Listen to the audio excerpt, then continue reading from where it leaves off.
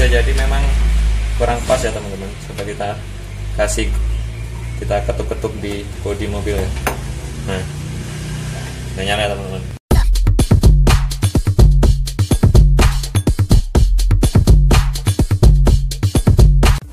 Hai, Assalamualaikum dan salam sejahtera bagi kalian semua yang nonton video ini. Terima kasih sudah klik video ini and welcome back to my channel Saya Absor, di channel ini saya banyak bahas tentang perawatan dan perlengkapan Begitu elektrik, mekanik, atau segala yang ada di sekitar kita yang kita jumpai bahkan sering kita pakai. So, bagi yang baru bergabung, selamat datang saya ucapkan Dan bagi yang ingin mendukung channel ini Sekaligus berkembang wawasan mengenai peralatan dan perlengkapan Silahkan klik tombol subscribe di bawah.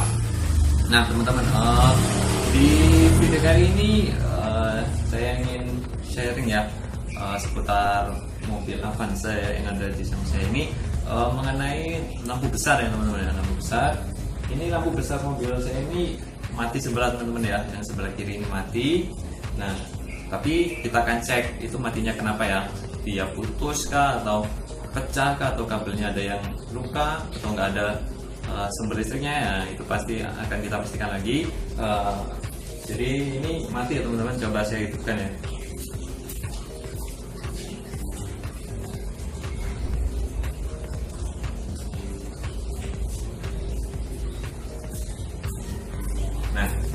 ini hanya nyala sebelah ya yang sebelah kanan. Yang kiri ini matiin lampu besar dia cuma nyala lampu kotanya yang gede-gede ini. Kita akan ulas apa penyebabnya. Pastikan uh, jangan skip dan seksa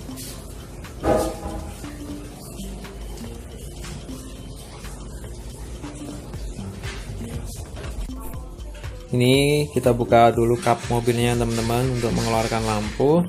Ini yang sebelah kiri ya saya pakai center karena agak gelap. Ini udah di dalam ruangan ya. Untungannya udah dimasuk di parkiran jadi udah gelap. Cari dulu uh, lubang lampunya ya. Ini di paling atas tinggal ditarik aja. Hmm. udah kelepas soketnya. Baru kita ambil lampunya ya sama karetnya. Nah, karetnya kalau udah keluar baru lampunya nanti bisa kalian keluarkan tapi penjepitnya itu kalian rilis dulu ya. Dua kawat itu yang menahan lampu baru lampunya bisa kita tarik perlahan. Jangan dipegang tampungnya teman-teman. Nah ini bisa kita lihat ya teman-teman. Uh, kondisi lampunya masih cukup bagus ya nggak ada yang putus ini ini lilitannya masih utuh ya nggak ada yang putus. Jadi uh, lampunya dalam kondisi baik ya. Uh, coba nanti kita langsung pasang sumbernya di sini ya soketnya untuk memastikan di luar. Jadi ini kita pasang soketnya di sini ya. Dan kebalik. Pastikan kalian pegang ini teman-teman ya. Apa bodinya ya jangan pegang tabungnya. Ini kalian masukin lagi di sini oke.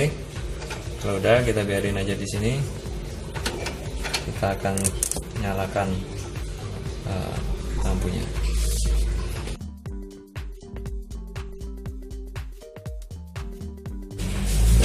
Nah ini bisa dilihat. Yang sebelah sini udah nyala.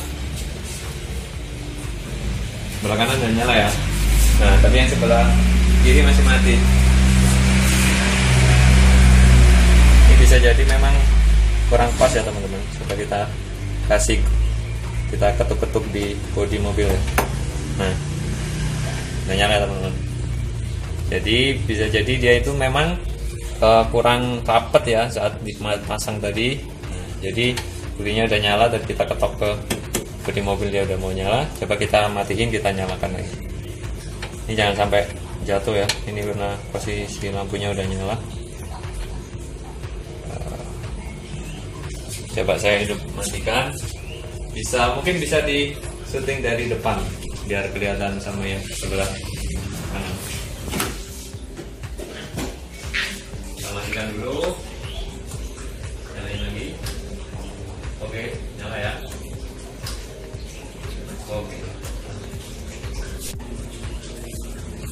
Nah jadi seperti itu ya teman-teman. Uh, cara memastikan lampu lampu apa aja ya. Uh, itu lagi keadaannya dia putus atau gimana ya. Intinya kan dia tadi nggak mau nyala itu perlu kan pastiin kondisi lilitannya itu ada yang putus atau tidak lampunya pecah atau tidak ya kan? Terus kabelnya itu putus atau tidak dan juga kalau semuanya udah dekat kondisinya baik tinggal kita cek uh, arus listrik yang ada di paketannya jadi kalau lampu besar kalian terjadi seperti itu bisa kalian praktikin cara saya seperti tadi semoga bermanfaat yang belum subscribe silahkan klik tombol subscribe di bawah. Yang masih bingung silahkan uh, tinggal lihat pertanyaan kalian di kolom komentar. Insya Allah akan saya jawab.